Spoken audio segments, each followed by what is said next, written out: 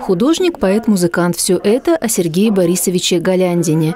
И все три ипостаси ярко переплетаются между собой, помогая картинам стать понятнее, ведь абстракционизм, в котором пишет мастер, имеет большую долю необъяснимого, требует умения видеть и читать между строк.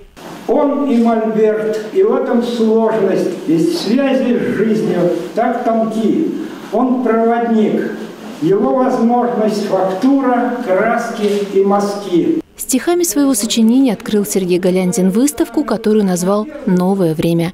Более 60 работ представлены на ней и охватывают последние два года творческой жизни художника. Время у нас все чувствуют хорошо, оно действительно новое, оно просто прессуется скачет из одного в другое, строится и разрушается.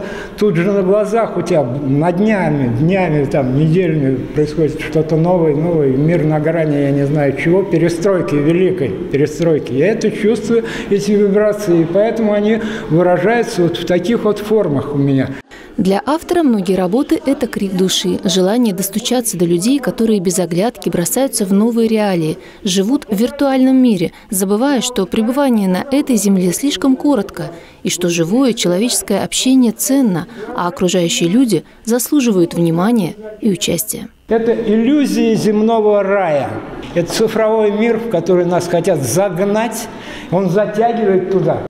Среди пришедших на открытие – соседи, друзья, ученики, коллеги. Екатерина Анурова – педагог по изобразительному искусству. Картины мастера она рассматривала с профессиональной точки зрения. Я хочу к чему-то такому прийти, не знаю пока к какому жанру, но такой жанр, ну, все жанры интересны на самом деле, каждый по-своему, и каждый все равно по-своему воспринимает и в определенный период жизни, мне кажется.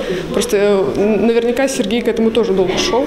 Сам Сергей Голяндин твердо уверен, профессиональный педагог и школа обязательны. Но, чтобы после стать художником, надо все забыть и начать писать так, как ты чувствуешь. Парадокс? Возможно, но именно так, по мнению мастера, можно стать индивидуальностью.